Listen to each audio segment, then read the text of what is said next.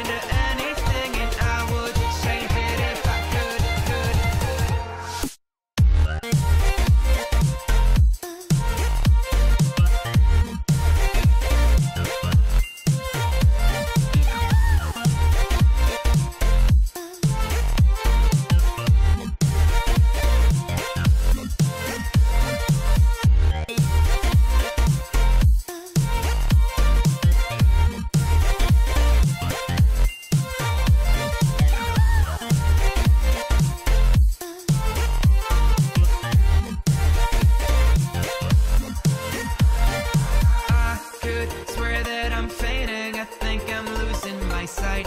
I swear I'm hitting the floor.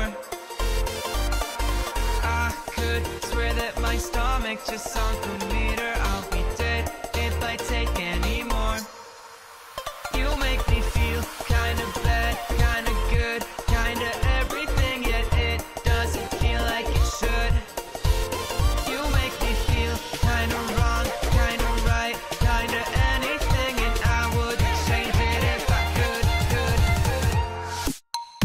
Bye.